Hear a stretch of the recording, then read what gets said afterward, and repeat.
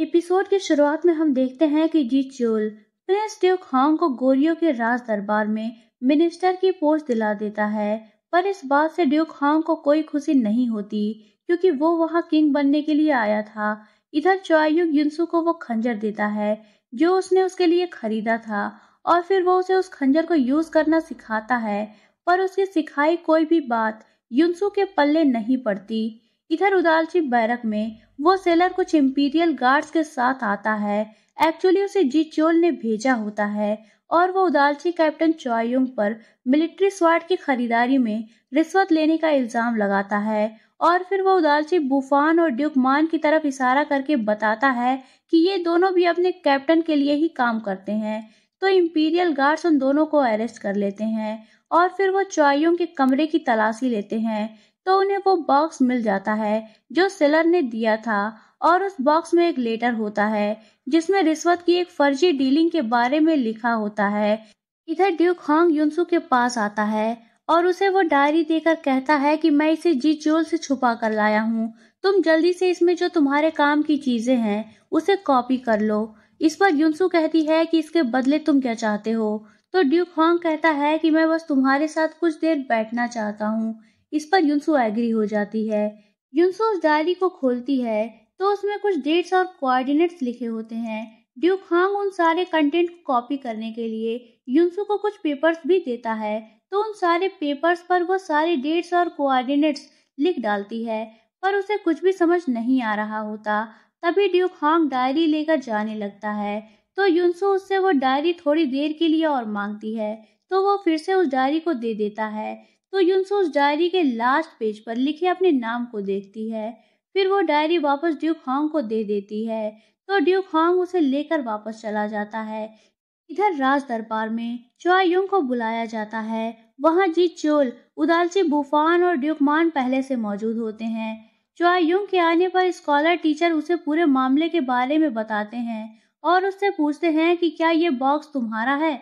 तो चुआयुंग कहता है कि नहीं, मैंने इस बॉक्स को पहले कभी नहीं देखा।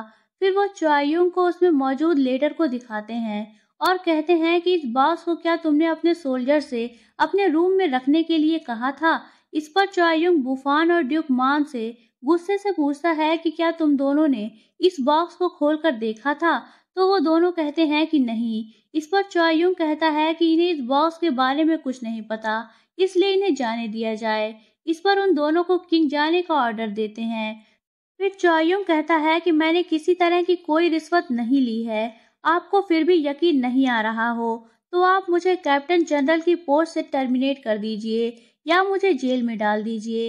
इतना कहकर वो वहाँ से सीधा अपने रूम में आता है तो वो देखता है कि उसका रूम बिखरा पड़ा है। तभी वहाँ एडवाइजर जोएल सिनाकर उसे बताते हैं कि जब तक इस केस की इंट्रोगेशन पूरी नहीं हो जाती तब तक तुम्हें कैप्टन जनरल की पोस्ट से डिसमिस किया जाता है। इधर किंग चुआयुंग के लिए परेशान होते हैं तो स्कॉलर टीचर कहते हैं कि अगर आप इस वक्त चुआयुंग को बचाने की कोशिश करेंगे तो सभी यही कहेंगे कि आप जस्टिस ना करते हुए एक क्रिमिनल की तरफदारी कर रहे हैं। इस वक्त उसका यहाँ से दूर रहना ही अच्छा होगा। इधर हेड असासिन गर्ल चौयुंग के कैप्टन की पोस्ट से डिसमिस होने की खबर जी चोल तक पहुँचा रही होती है। तो कोर्ट लेडी चॉय उसे देख लेती हैं। इस पर कुछ असासन गर्ल्स को उसे पकड़ने का ऑर्डर देती हैं। तो असासन गर्ल्स जाकर उसे पकड़ लेती हैं। पकड़े जाने पर वो तुरंत जहर खा लेती है। पर कोर्ट लेडी चॉय वो जहर उसे खाने नहीं देती। फिर वो किंग के पास आती हैं और उन्हें उस जासूस हेड असासिन गर्ल के पकड़े जाने के बारे में बताती हैं। इधर एडवाइजर जोएलसिन स्कॉलर टीचर और उनके असिस्टेंट के साथ यूनसू से मिलने आते हैं। वहाँ डॉक्टर जैंग भी मौजूद होते हैं। वो सभी युनसु से फ्यूचर डेज़ के बारे में पूछते हैं और पूछते हैं कि क्या हमारे किंग एक पावरफुल एम्पर बन पाएँगे या फिर उनका अंत हो जाएगा। इस पर युनसु कहती है कि मैं ये सारे सीक्रेट्स सिर्फ़ किंग के सामने ही बताऊँगी। इतना कहकर वो अपने रूम में आ जाती है। तभी वहाँ च्वायुंग आता है और उसे कहता है कि कल सुबह होने से पहले तुम हमारे मिलने वाली जगह पर आना, मैं तुम्हें डोर ऑफ़ हिवन पर ले चलूँगा। ये सुनकर युनसु हैरान होती है। तो चायुंग उससे कहता है कि अगर तुम जल्द से जल्द यहाँ से नहीं निकलोगी तो तुम भी इस पैलेस में होने वाली पॉलिटिक्स का हिस्सा बन जाओगी। इसलिए मैं जल्द से जल्द तुम्हें सेफ़ प्लेस पर पहुंचाना चाहता हूँ। इतना कहकर वो वहाँ से चला जाता है। च्वायुंग की ये बात सुनकर युनसु अपना सामान पैक करने लगती है। इधर च्वायुंग रॉयल इंट्रोगेशन के लिए राज दरबार में आता है। रॉयल इंस्पेक्टर, जो कि स्कॉलर टीचर का असिस्टेंट होता है, वो च्वायुंग से कहता है कि क्या तुम्हारे पास अपनी बेगुनाही साबित करने के लिए कोई सबूत या गवाह है? इस पर किंग कहते हैं कि मैं इस बात का गवाह हूँ कि च्वायुंग बेगुनाह है। इस पर तुरंत प्रिंस ड्यूक हांग कहता है कि ये कौन सा इंसाफ है? क्राइम आपके बॉडीगार्ड ने किया है तो आप उसी की साइड लिए जा रहे हैं। इस पर च्वायुंग किंग को बचाते हुए रिश्वत का इल्ज़ाम अपने ऊपर ले लेता है और क्राइम को एक्सेप्ट कर लेता है। इस पर किंग सॉक्ड हो जाते हैं।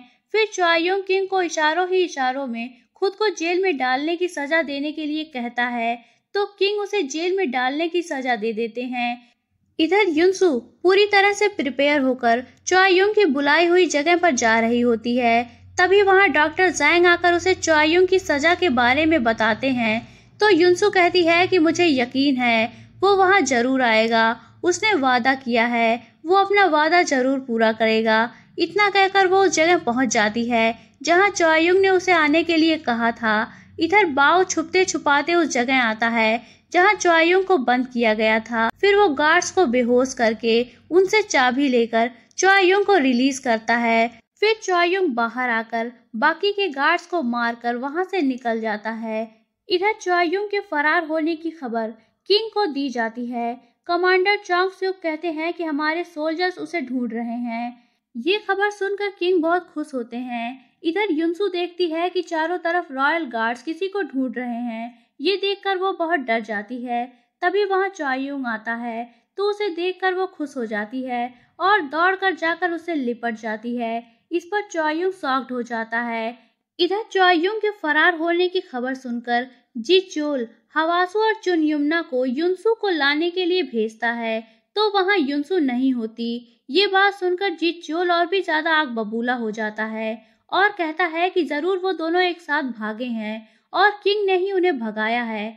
इधर चौयुंग युनसु को लेकर जा रहा होता है, तभी वो देखता है कि जी चोल के सोल्जर्स उन दोनों को ढूंढ रहे हैं। इस पर वो युनसु को लेकर हेड सिबलिंग के पास जाता है तो हेड सिबलिंग कहते हैं कि तुम दो चार दिन यहीं छुपे रहो। जब मामला थोड़ा ठंडा हो जाएगा तो तुम यहाँ से बाहर निकल जाना। इधर प्रिंस ड्यूक हॉन्ग एडवाइजर जो एल्सिन को किंग के खिलाफ भड़काता है और कहता है कि तुमने किंग के लिए क्या कुछ नहीं किया, पर किंग हमेशा उदालचियों के बारे में ही सोचते हैं। वो तुम्हारी कदर नहीं करते। फिर वो एडवाइजर जो एल्सिन को अपने लिए काम करने के लिए कहता है और वो कहता है कि अगर मैं किंग बन जाऊँगा तो तुम्हें राज दरबार में सबसे हाई पोस्ट पर अपॉइंट करूँगा। उसकी ये सारी बातें सुनकर एडवाइजर जो एल्सिन उसके लिए काम करने के लिए एग्री हो जाते हैं। इधर युनसु अपने कॉपी किए हुए सारे कोऑर्डिनेट्स को समझने की कोशिश कर रही होती है। वो सारे पेजेस को अपने फिंगर पर सलाइवा लगाकर पलट रही होती है।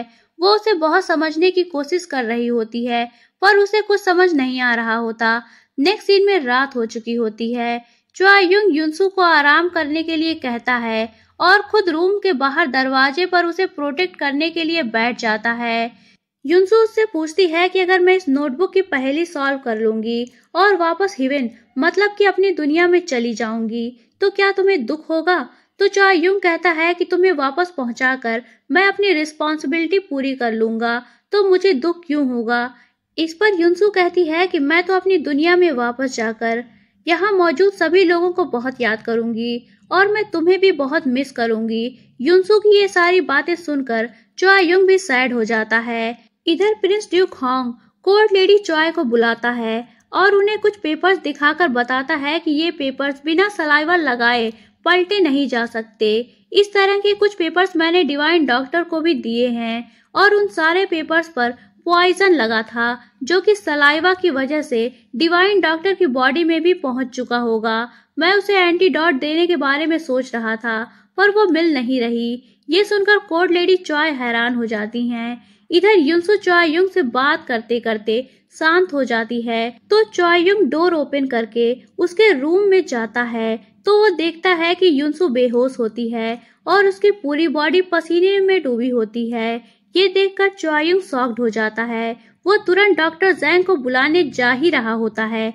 तभी वहाँ डॉक्टर जैंग पहुँच जाते हैं। उन्हें कोर्ट लेडी चॉय ने भेजा होता है और वो चुआयुंग को पॉइजन के बारे में बताते हैं। डॉक्टर जैंग युनसु का चेकअप करने लगते हैं। तो चुआयुंग पूछता है कि इसे जहर किसने दिया? इस पर डॉक्टर जैंग उसे बताते हैं कि डिवाइन डॉक्टर को जहर प्रिंस ड्यूक हांग ने दिया है।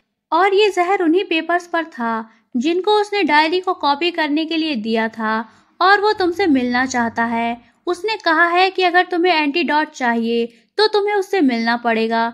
डॉक्टर जैंग कहते हैं कि हमारे पास ज़्यादा टाइम नहीं है। अगर एंटीडॉट नहीं मिला तो डिवाइन डॉक्टर की पूरी बॉडी पैरालाइज्ड हो जाएगी। ये सुनकर चौयुंग तुरंत ड्यूक हॉन्ग के पास जाता है।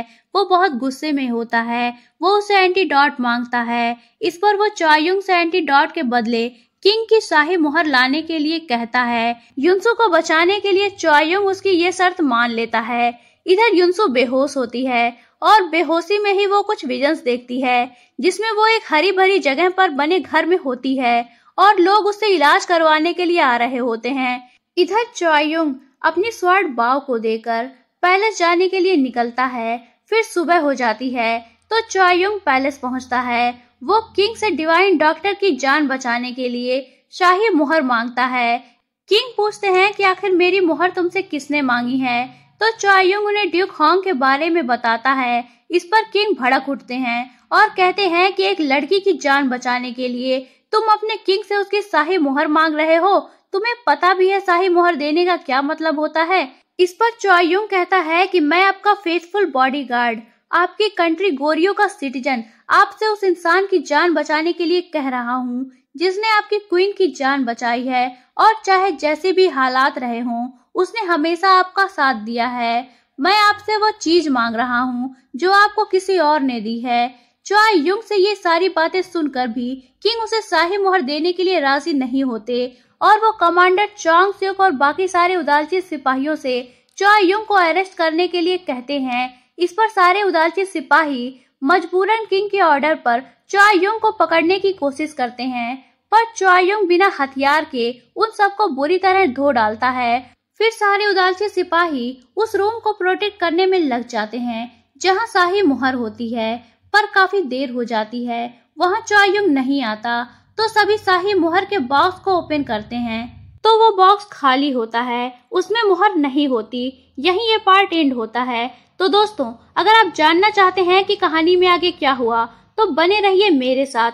और अगर आपने अभी तक चैनल को सब्सक्राइब नहीं किया है तो चैनल को सब्सक्राइब करके बेल आइकन पर क्लिक कर लीजिए, ताकि आपको हमारे आने वाली वीडियोस की इंस्टेंट नोटिफिकेशन मिलती रहे। तो मिलते हैं नेक्स्ट वीडियो में। तब तक के लिए take care and goodbye